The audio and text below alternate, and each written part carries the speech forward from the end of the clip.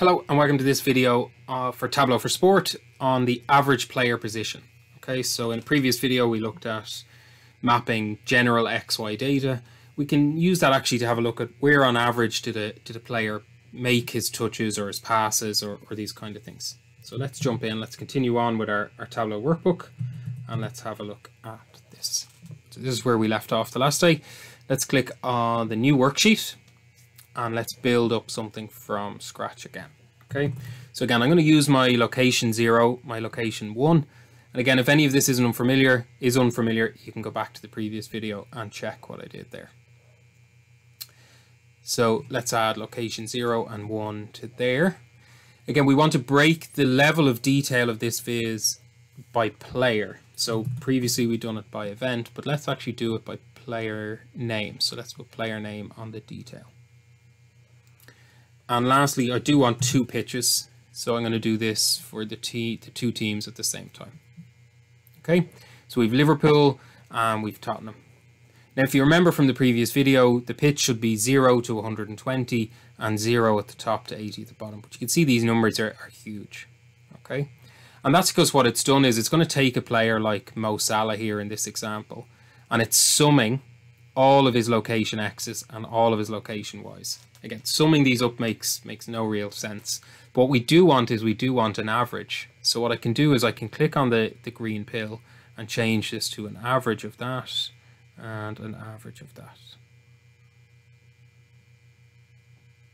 Okay, so now this is beginning to, to look quite nice. Um, it should remember your pitch. Okay, again, if it doesn't, you can go back to the previous video and have a look. It should remember your pitch here. What I'm going to do is I'm going to edit the axes again and just make sure that I, I bring back in my my space. So uh, this should be 85 and again just making sure to reverse it so that 80 touch line is, is along the bottom. And again I'm going to edit the axes because I want to see the full pitch. Uh, so we'll make that minus 5, 125. Okay, so that gives us breathing room on, on either end, either touch line. Okay, and then I can go and uncheck this. Okay, so again, starting to, to look better here. And now let's add some of the, the design elements to this. Okay, so first let's put team onto color. I prefer to use filled circles and I think we can bump up the size a little bit.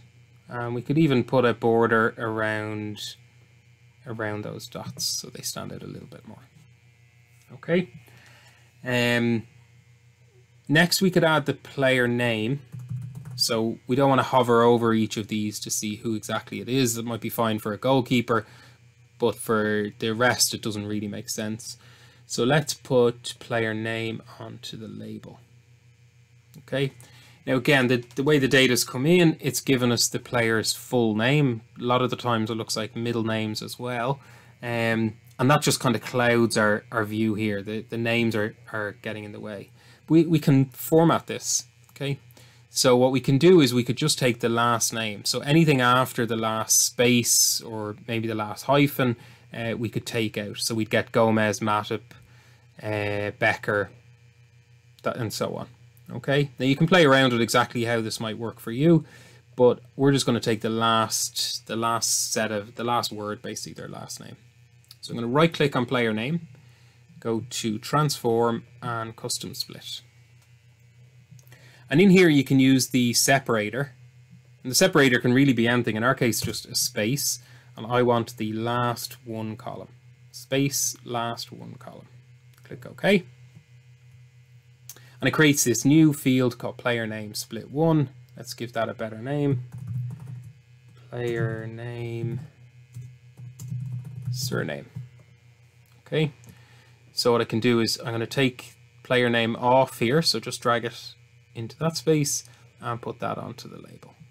And that looks much cleaner uh, in terms of not, not overlapping with each other. So, you know, there's a lot of central play here is one of the things that stands out. But let's keep going with the kind of design. I, I probably want to take people out who didn't have many involvements in the match.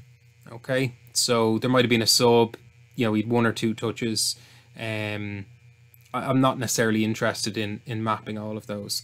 So what we can do is we can take um, our count. If we remember from the very first video, we have this count, and that's just a count of events.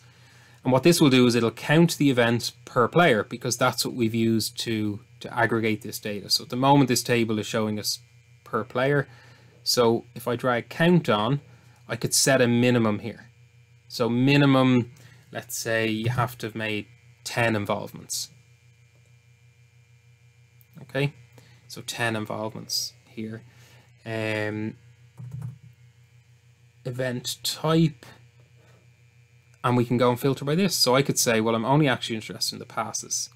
So this is now players, average position on the pitch when they made a pass, but they have to have made at least 10 passes to be included in this. Okay, so that's 11 Liverpool players, and I think it's one extra for Spurs. So there's 12 Spurs players. So one of the subs is included in there, but they made enough enough of an impact. So we can see, we can really see, you know, this central area is where those forward players for Spurs played, where Salah's average position playing the ball is, is nearly inside the box. Okay. Uh, you can see Henderson, Wijnaldum, Mane. You know, these are all kind of spread out. They're all in the opposition half. So it's a very nice chart just to be able to see the average position of where players have played.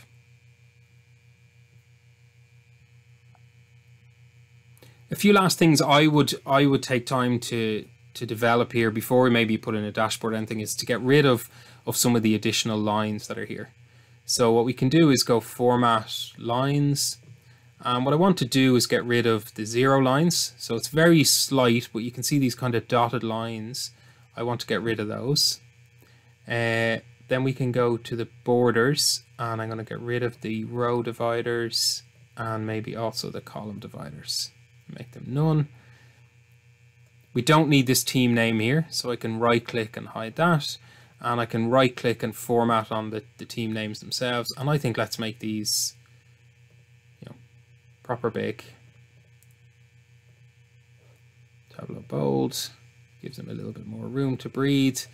Uh, and again, give it a, a proper title or a description somewhere along the way in terms of, of what you're what you're showing here. But you've now got a very nice dashboard. And again, just to show uh, its match ID or match date. You can easily flick between games. Easily flick between games. So again, build it once and you've got the same structure built game after game after game. Okay, so that's average player positions built on, on a pitch, XY data. Okay, thank you very much.